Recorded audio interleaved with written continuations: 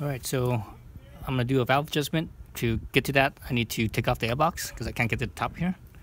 So to take off the side covers, you have to do that first. Uh, there's a screwdriver down here, plus head, uh, Japanese industrial standard screwdriver. Not a Phillips, even though it looks like one. Now you take that one off, you slide this cover forward.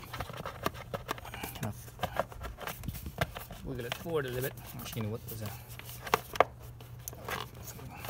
Right there. Jeez, what the hell?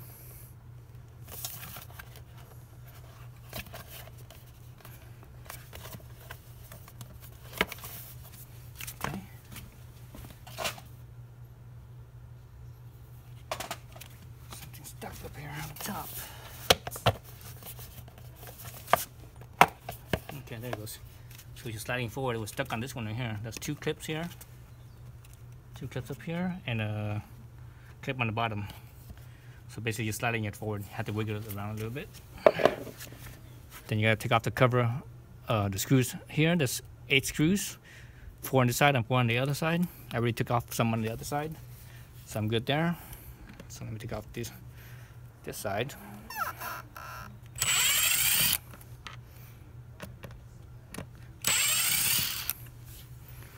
Again, these are uh, Japanese industrial head screwdrivers. Um, so they're not quite like they're not quite Phillips.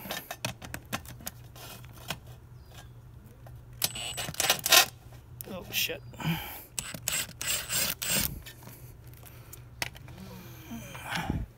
So neighbors weed, weed whacking right now, so they're making a lot of noise. They do this fast. Oh shit.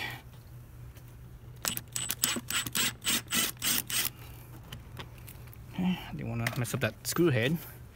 So once you have that off, all those those eight four sides. I already did the I already did the other side.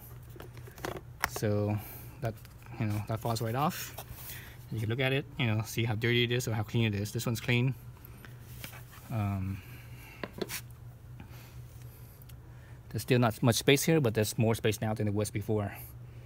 You could take off the air, air filter too if you want. Um, actually, let's do that. This is actually the clean side of the air filter. It's the other side that's dirty. Well, actually, this one has a screw right here, so I'm not going to take it off. I'm going to leave it. So there's actually a screw over here on this side, right here.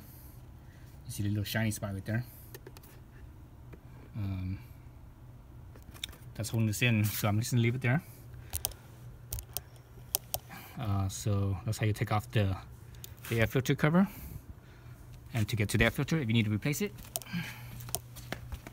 Right. So that screw is over here right there. And this this will uh, this cover this air filter will come right off. So that's how you take off the, the air filter cover